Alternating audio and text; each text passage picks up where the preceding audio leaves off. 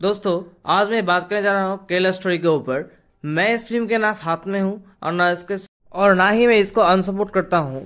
तो आ, तो बात यह है कि अगर कोई धर्म का इंसान अगर किसी जाति के ऊपर दूसरी जाति के ऊपर ज़ोर करता है तो वो गलत बात है। अगर मैं ये नहीं बोलूँगा हर हम लोग इंसान है हर एक ही तरह रहना चाहिए हम लोगों को एक साथ। अगर कोई सब ऊपर वाले के एक ही संतान है ये सब हमने ही किया है अगर कोई ऐसा करे, ये बहुत बुरा बात है। किसी को ज़ोर के अपना दूसरा धर्म मनवा लेना या कुछ भी करना सब गलत बात है।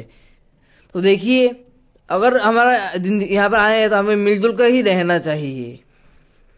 देखिए, हमें, मुझे बुरा लगता है कि बहुत ही बुरा करना चाहता हूँ इसलिए मैं भारत सरकार और और केरला सरकार को इसके ऊपर एक्शन लेने के लिए ज़रूर बोलूँगा। देखिए, मेरे तरफ़ से, क्योंकि एक मुस्लिम राजा थे अकबर, और उनके दौरान में बीरबल थे, जो एक हिंदू मंत्री थे, और वो अकबर के मेन प्रमुख बुद्धिदाता थे, इसे दिखाता है वो पूर्व काल में हम लोग कितने मिलजुल के रहते थे। हम लोग कितने मिलजुल कर रहते थे, और इसीलिए मैं बोलूँगा कि हमें मिलजुल कर रहना चाहिए, और मैं अपने, और मैं अपने दोनों जाति के भाइयों को बोल। हिंदू जाति मुसलमान जाति भाई दोनों को हम लोगों को एक साथ मिलजुल के रहना चाहिए।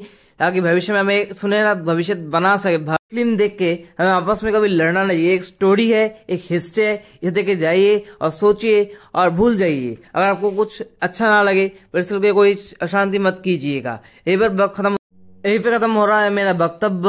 और आपको अच्छा लगे तो मेरे इसको लाइक ज़रूर कर दीजिएगा और आपस में भाई बना बना के रखिएगा